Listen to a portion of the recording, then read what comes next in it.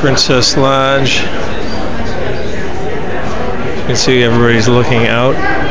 They're looking out at the view outside. You can't see Mount McKinley because of the because of the uh, clouds.